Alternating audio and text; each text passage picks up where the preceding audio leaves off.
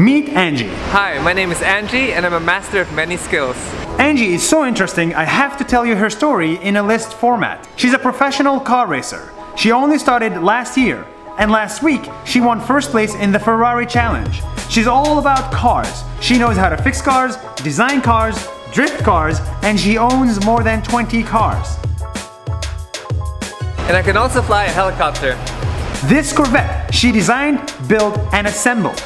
This McLaren she's rebuilding from scratch. All of this, she says, Makes me happy.